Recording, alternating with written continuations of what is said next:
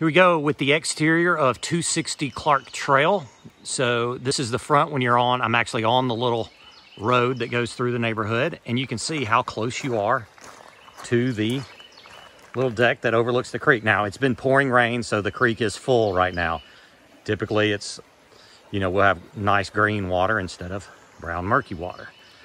But what an amazing place. And just so you know, this road that is not a no through traffic. There's a dead end actually on the on the far end down there. So I think there's only like a 10 or 11 homes on this uh, this side of the road.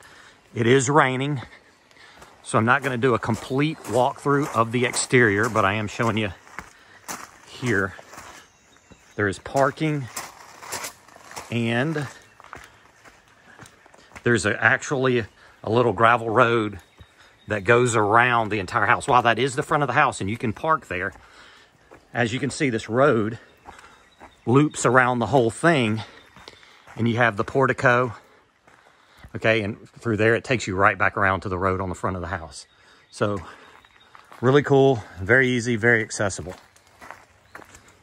All right, that is basically the exterior and kind of the layout. There are two parking spots right here as well. So plenty of room. So here we go on the inside.